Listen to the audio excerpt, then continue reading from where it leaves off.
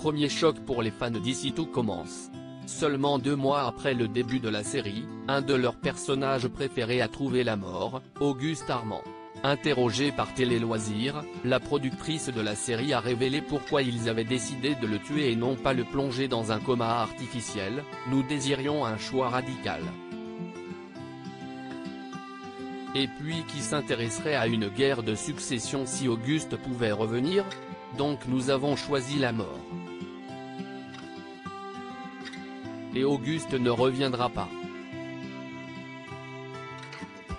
Nous ne sommes pas une série fantastique. Cependant, son décès était prévu depuis le début. C'était une envie d'Eric Führer, le directeur de collection, de surprendre le public.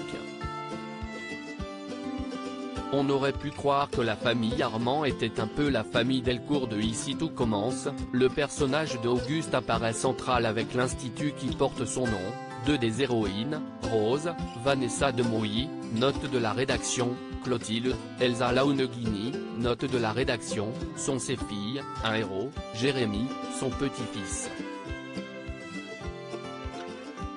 Eh bien non, a confié la productrice. Toujours pour Télé Loisirs, la productrice a confié, l'idée, c'était de surprendre et de montrer que l'on est capable de tout. Il ne faut jamais penser que la série sera un long fleuve tranquille.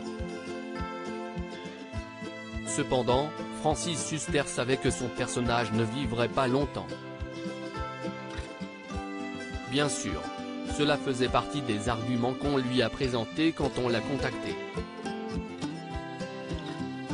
On savait en effet qu'il avait une activité théâtrale intense et des projets de tournage. Mais il a aussi été séduit par le personnage, par sa dureté avec ses filles en contraste avec la douceur et la pédagogie dont il faisait preuve avec ses élèves. Pour Francis Huster, il y avait aussi un clin d'œil fort à sa vie de professeur au cours Florent, a-t-elle ajouté. Il va y avoir une lutte pour lui succéder quelques jours plus tôt, si est également pour Télé Loisirs que l'interprète de Claire, Catherine Marshall avait confié, la disparition d'Auguste va évidemment provoquer beaucoup de choses parce que les scénaristes ne feraient pas mourir un personnage pour qu'il ne se passe rien.